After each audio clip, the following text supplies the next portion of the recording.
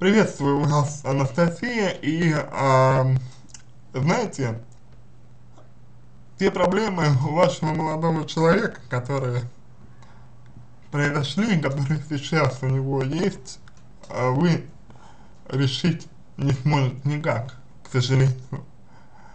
Потому что это то, с чем ему предстоит справиться самостоятельно то, что вы можете э, сделать, то, что вы реально можете сделать, то, что от вас зависит, это быть своим молодым человеком рядом, поддерживать его, дарить ласку, тепло, заботу и так далее. И э, стараться в меру своих возможностей, в меру своих сил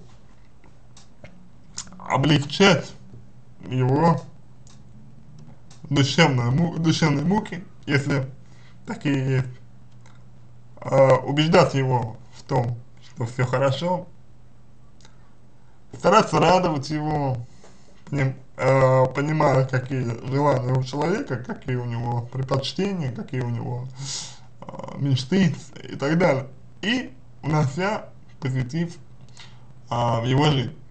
Вот это, как любимый человек, вы можете сделать. Это то, что достаточно реально для вас. Это то, что а, вам по силам. Это то, что вы можете сделать без ущерба себе. И это очень важно, чтобы не было излишнего самопожертвования в отношениях. Потому что оно приведет лишь к тому, что вы рискуете потерять себя, вы рискуете потерять свою целостность, свою самостоятельность, а это в свою очередь, ну, только негативно на вас отразится.